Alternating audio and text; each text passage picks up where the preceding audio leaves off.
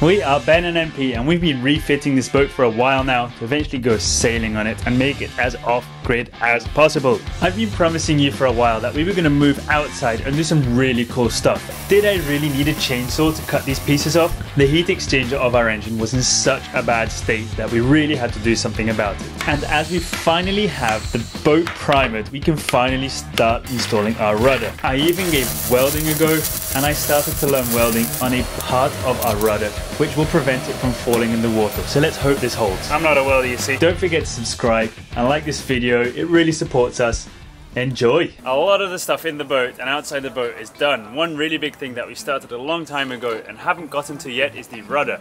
It's been uh, painted with epoxy resin and it's been sitting under the boat for ages and we're going to start changing that. And for that we've got Matt from Colorado who's come over here for two weeks to help us out, which is super amazing. Super excited. Yeah. Watching since the start. So awesome to see Yaba in person, meet you guys, and be able to lend a hand.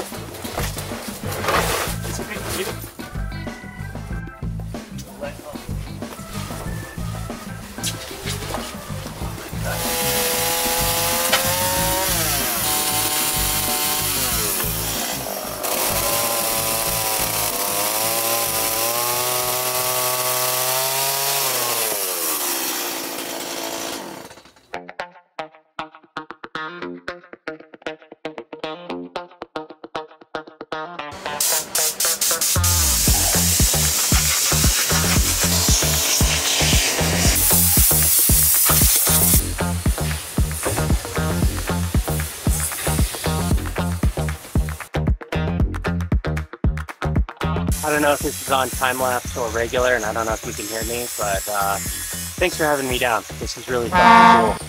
And, uh, oh, I probably can't swear. Uh, super awesome to uh, be here and be helping out and uh, be a part of something that I've spent so much time watching from home. So thanks again. I really appreciate you guys.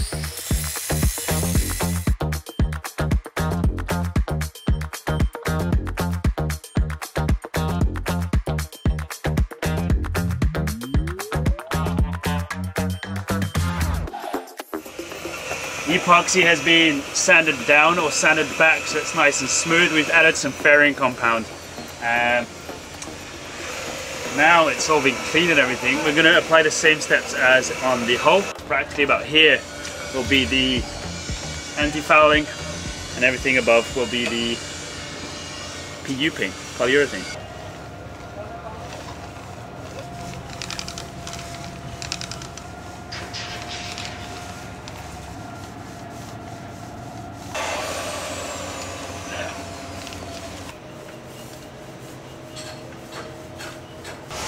Small change of plans.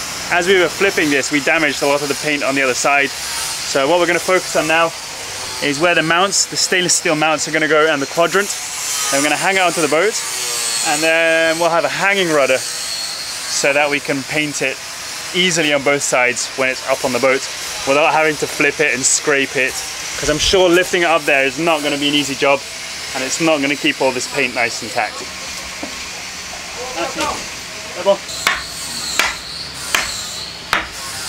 I think we rushed the drying period of the first primer last time because yeah I think we rushed it because it's not sticking very well. So we sanded off absolutely everything where the mounts will go apply this let it dry and then we'll see what happens to the remaining bits. If anything we'll sand it off and start again because we want to do this properly. But we're gonna put this on and let it dry and probably tomorrow apply the other epoxies in the morning and then we can probably hang it half in the afternoon if you're impatient, you're just gonna have to do it all over again. And we've learned many times, or haven't learned many times. But we always make sure we do do it properly after all. We're still working in the gearbox, but we're also gonna start working on our heat exchanger now. The heat exchanger is a fun story because it's been through a lot. we have this one, it's original from Yaba. It was the one that was in it when we bought her and it was in a very bad state. The tubes on the side were all corroded and we really considered getting rid of it and getting a new one. The thing is, the, all the ones we found to buy new were made out of steel. And this one we have is aluminium.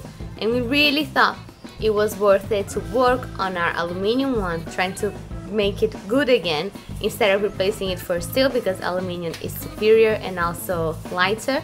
So really thought it was worth it to give that a go. So instead of getting a brand new one, we just refurbished the heat exchanger we had with the help of Jason. This is Jason that's going to help us restore our heat exchanger and now honestly I have to leave it for him because he's in charge.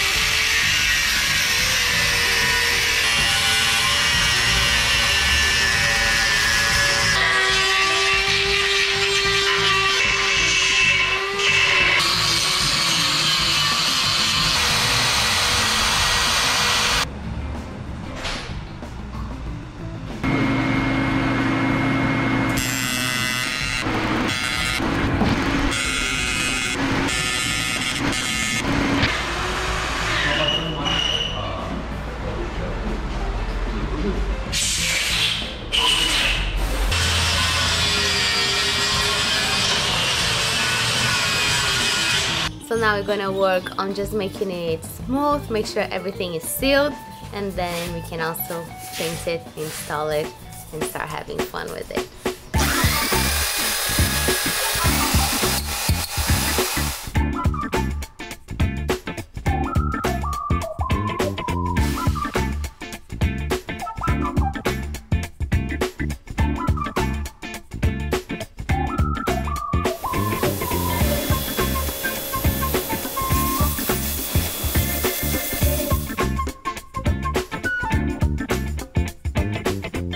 I've given Matt a break because he can't handle the heat. Not kidding, he's worked hard and now he's behind the camera because he's a great help. And these windows were left open when it rained all of a sudden. So these brand new, unvarnished pieces of very soft wood have gotten wet. So now we have to try and get the stains out without ruining the bit that was routed. So I'm practicing on this small one, it's like tiny bit, and then I'll move over to this. Very annoying.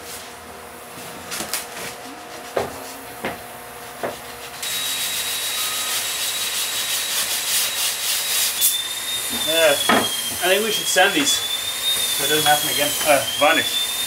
What do you think?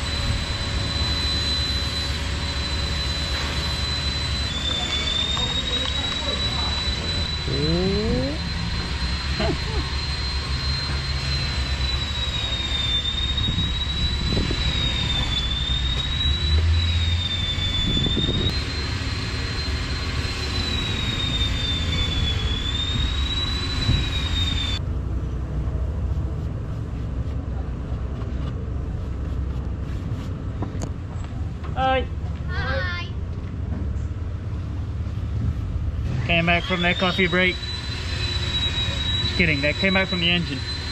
Working on the engine.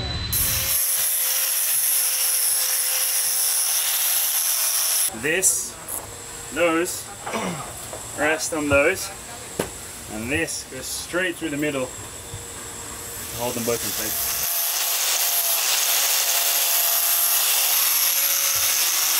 Before we couldn't notice it that much, however now that Matt's gone over it and polished everything, not only can I see my own beautiful reflection now, you can see these huge holes in it. We thought, because we were looking at the top part, we thought it was just some surf surface uh, damage and nothing serious. However, this is quite deep. I'd say it's about two, three millimeters deep.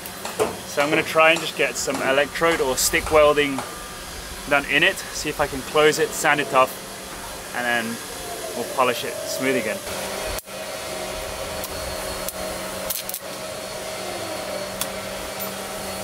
I'm not a welder, you see.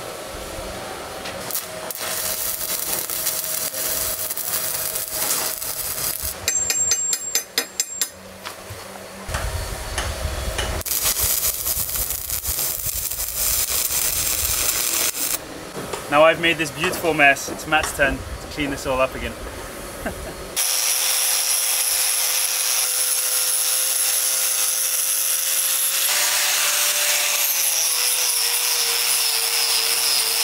This was the first actual weld, technically on a boat, even though it was just filling.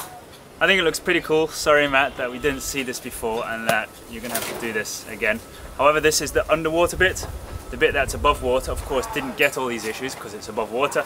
Soon it's gonna look very, very nice. The tip is, don't weld big pieces because when you wanna sand it down, your hand is not a lathe and you're like, you can't really find where the curvature of the tube is, the pole. So if you have to just like do little bits, you get a flat bit, a bubble, and a flat bit. And you sand it off, add another little weld, and so on. Way, way easier to sand a uh, little bubble, a little weld, than the whole thing.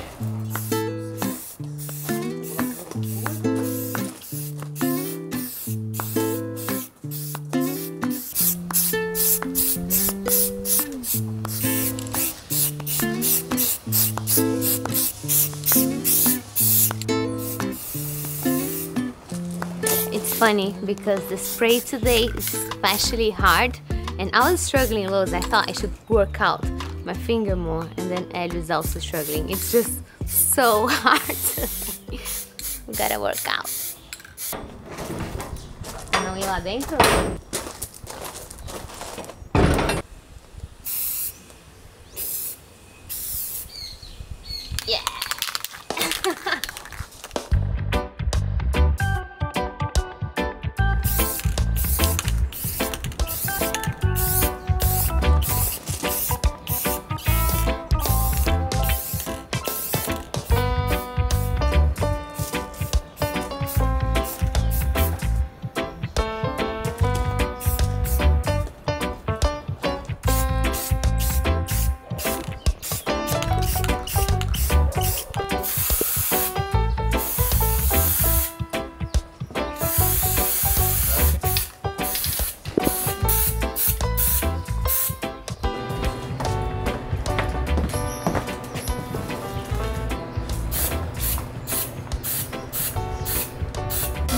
Reveal of our water pump.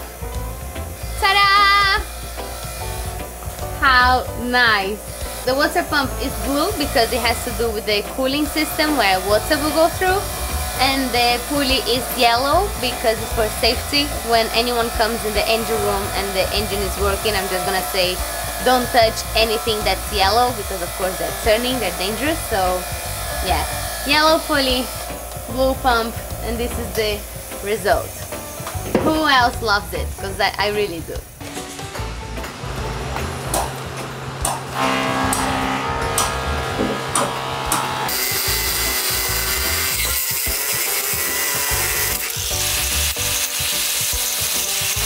Now we have got all the nuts, washers and the screws. It took us a while because I don't know about the rest of the world, but here in Brazil we have 13 thread and 12 thread bars, which is just, I don't know why they have two different ones.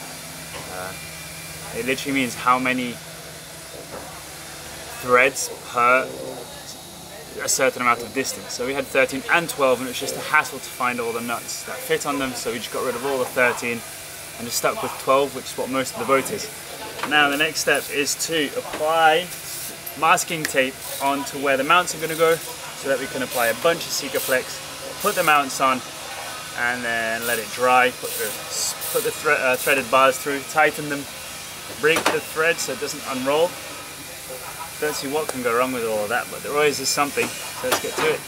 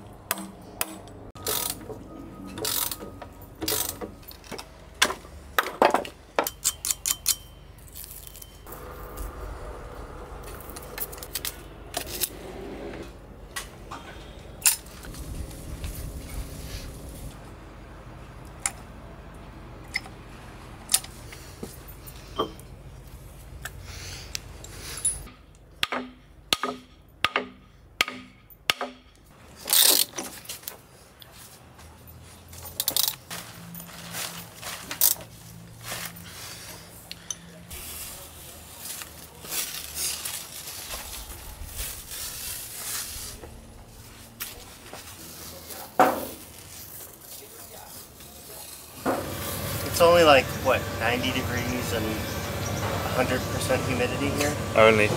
We mounted the brackets on the rudder uh, with Sikaflex after we primed underneath. We're going to prep the, uh, what is this called? Uh, we'll put it in the bottom later. I've seen them do that before. Get these mounted with the other half of the, whatever this thing's called. Put that in the bottom too. Like there. And then uh, we're going to get the rudder mounted on the boat so that uh, one step away from sailing.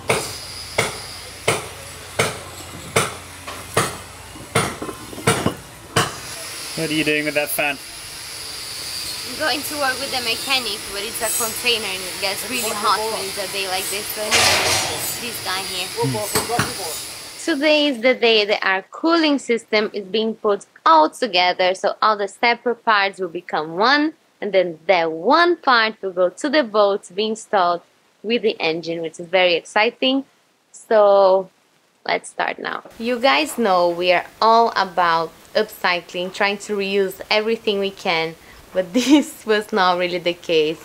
This is the one that was inside the boat and we saw that it was not very happy. Already has some tubes shut because they're probably broken and leaking. So yeah, we went for a new one this time. So you have here the new one and the old one and I really wanted to show you how they're different so you understand why we went for a new one. How cool is it that it came in a wooden box? Whoa. Ooh, what? Before and after. It's so shiny. I wouldn't expect that.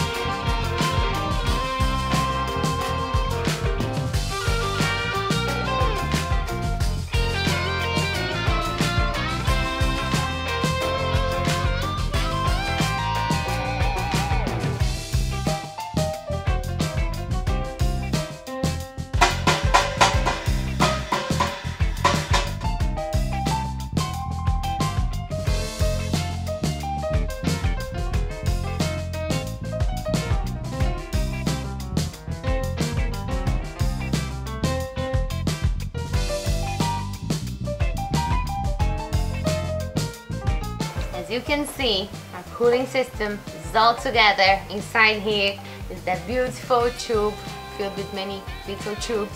And I'm very happy with it. I just wanted to take the time to explain to you how this works in case you're not familiar with this system. So this is actually a water reservoir, pretty much.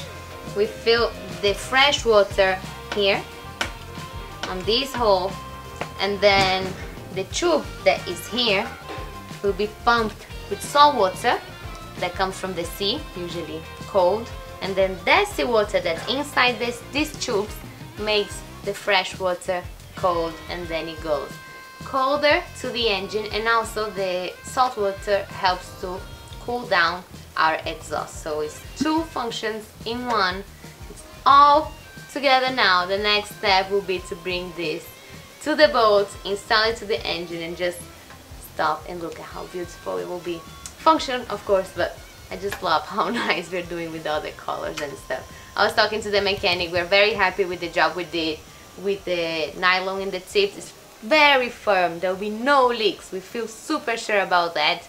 And yeah I just feel that the water that will go through this will leave back to the sea feeling a bit happier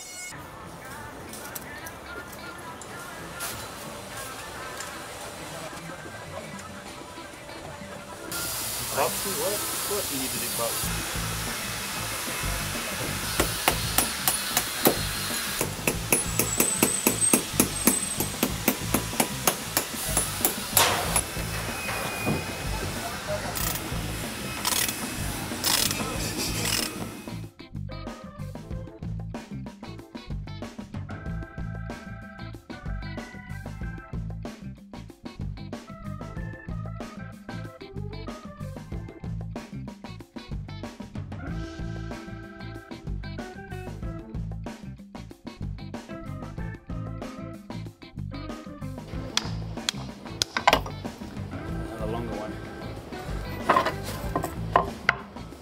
Sorry, Matt, for your polishing. Is it going? Yeah.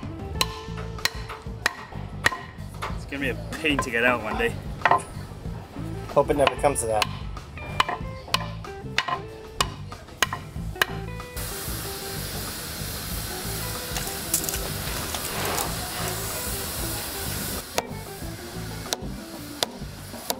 all the mounts that we need that are to hang the rudder up are in place. Two on the boat itself, ignore all the mess, and two over here on the rudder itself. Uh, next steps are to hang the rudder up. However, now it looks like, don't know if you see in the background over there, it's really dark sky. Gonna start tipping it down. So this is gonna be for tomorrow, hopefully. You'll see how we can just hang the rudder up, put the big pin through it, and we can start working on the steering. Why are we hanging up the rudder now? Yes, it's been on the floor for ages, but steering wise, we want to have an autopilot that is on an internal quadrant, but our quadrant is outside and we want to fix that. We don't know how yet, we're not making any promises, but we want to hang the rudder up already so we can start working on that.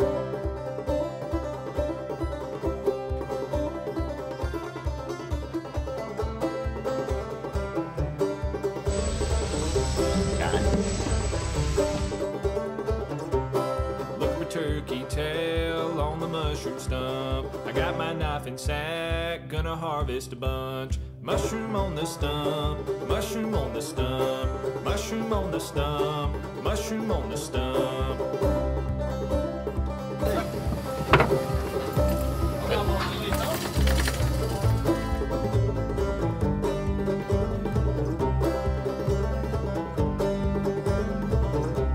I see that reishi mushroom on the hemlock tree. Gonna go get my ladder and bring it to my baby.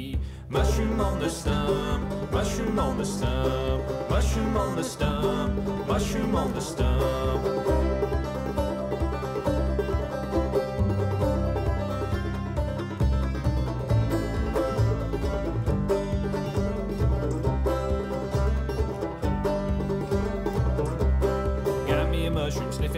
He don't like to work, he's lazy as a log. Also got a sidekick who works real hard, but he's three foot two. Mushroom on the stump, mushroom on the stump, mushroom on the stump, mushroom on the stump.